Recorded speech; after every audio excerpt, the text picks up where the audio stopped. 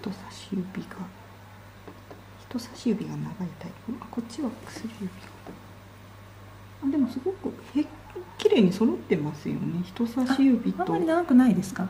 あ長いタイプですよとっても。あ人差し指ですか？人差し指。もう薬指も同じくらいですよね。あそうですか、うん。そうなるんですねこれ。ただでもやっぱこの2分の1よりも長いから長いタイプですね。ううん。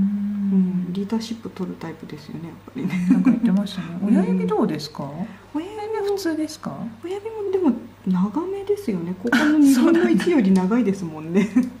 でやっぱりここが長いからあの頭のね使うタイって言ってプですよね